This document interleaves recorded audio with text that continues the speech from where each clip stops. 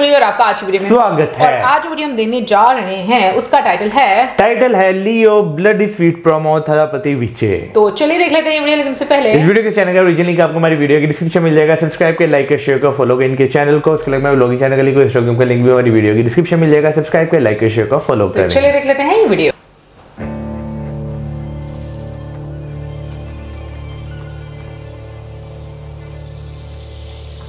Lalit Kumar presents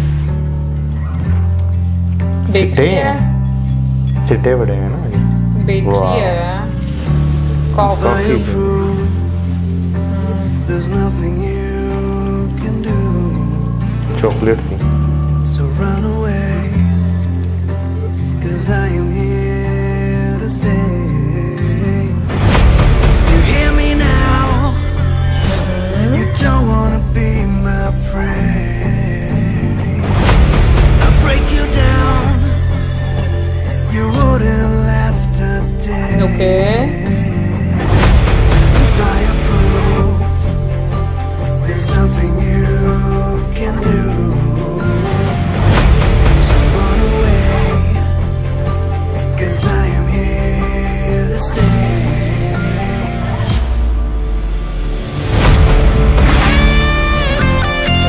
मुझे सांप से बहुत डर लगता है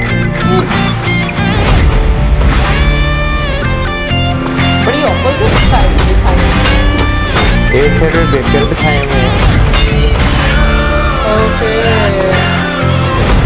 सांप का सर दुश्मन को मतलब के चॉकलेट और एक साइड में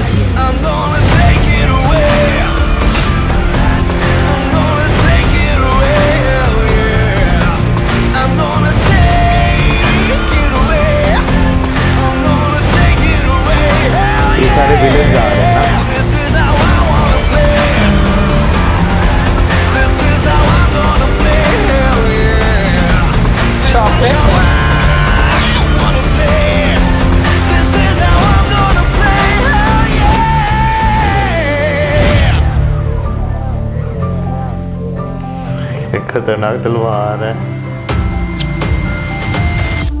bloody sweet. ओके तमिल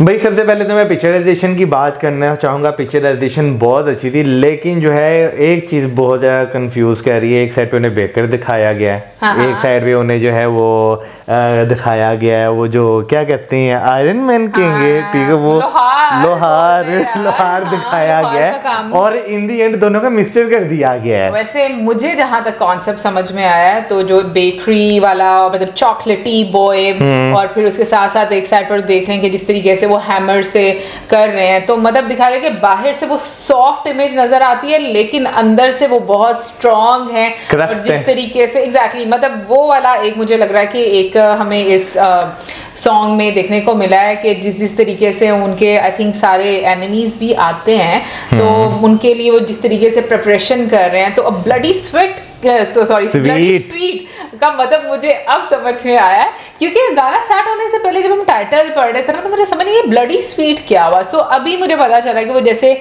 उन्होंने जो तलवार है वो चॉकलेट के अंदर डिप करके बाहर निकाली तो उससे वो एक यू नो जो थीम लिया गया। यानी कि चॉकलेट जो वो तो होगी ना मीठी। हाँ तो ऑब्वियसली और तलवार पे लगेगा खून। एग्जैक्टली अब समझ पा रहे ना। सो मुझे वो चीज़ बहुत अच्छी लगी है कि बड़ा एक डिफरेंट हम लोगों को तरीके से पिक्चराइजेशन करके हाँ। दिखाई गई है और जो उसके हम कहेंगे लिरिक्स थे वो भी मुझे बहुत अच्छे लगे हैं कि जिस तरीके से उन्होंने बीच में बोला कि यानी कि मैं यहाँ पर ही रहने वाला हूँ। तो लाइक वो एक होता है ना कि राइवलरी में आपको जिस तरीके से फेस करना और आप कितने स्ट्रॉन्ग है वो सब चीज़ें हम लोग मुझे लगता है कि यार वैसे ऐसे मूवी क्योंकि अब दसवें महीने जाकर जो है आनी है यानी कि अक्टूबर में जाकर ये मूवी आएगी। तो जब इसका ट्रेलर आएगा ना मुझे लगता है ट्रेलर जो कि काफ़ी डिफरेंट टाइप की एक मूवी लग रही है क्योंकि इसमें अ, जो है गाना जो अभी हमने हम्म, देखा है उसमें आपको जो है ये चीज़ तो भाई एक दिखा दी गई है ना कि मूवी जो है ये डिफरेंट होगी। एक जो एग्जैक्टली सी हाँ। स्टारकास्ट बहुत मज़े की है। हाँ। थलापति विजय सर तो हमें नज़र आए ही हैं। फिर संजय दत्त सर हैं भाई बीच में। त्रिशा भी है। वो के प्रिया आनंद है अर्जुन है मंसूर अली खान है। तो मतलब जहाँ पर मुझे संजय दत्त सर का नाम नज़र आया ना मुझे लगा है कि मूवी जो है ना वो कमाल और है। जहाँ तक मुझे लगा इतनी ज़्यादा गाड़ियाँ देखे तो कहीं संजय दत्त सर इसमें एज ए विलन तो नहीं कर रहे वो तो अब टीजर ट्रेलर कुछ आएगा तो पता तो पता चलेगा चलेगा। बट ये कि म्यूज़िक बहुत सूदिंग था बहुत हम्म। मज़ा आया पिक्चराइजेशन बहुत अच्छी थी हम्म। मतलब सब कुछ जो है ना बहुत एक डिफरेंट तरीके से मैं कहूँगी कि हम्म। ऐसे लग रहा था जैसे शायद मूवी का ये स्टार्ट हो रहा है कुछ इस तरीके से भी लग रहा था है ना जैसे कोई मूवी स्टार्ट होती है ना तो हाँ। ऐसे कोई सॉन्ग चल रहा है स्टोरी स्टार्ट हो रही है और साथ में क्रेडिट भी आते हैं तो वो वैसा वाले भी मुझे एक वाइब बिल्कुल और वैसे भी इस का जो म्यूज़िक है वो हम्म। अनिरुद्ध रविचंद्र ने दिया हुआ है तो हम्म। उनके अगर हम गानों की बात करें तो हमने इनके गाने सुने भी हुए हैं और काफ़ी फ़ेमस फ़ेमस इन्होंने गाने कंपोज किए हैं। वेल गाइस आप ज़रूर बताइएगा कि आपको कैसा लगा ये सॉन्ग और क्या लगता है कि ब्लडी स्वीट क्या होगा? कमेंट सेक्शन में ज़रूर बताना और इसी के साथ हमें जात हमारी video like subscribe share goodbye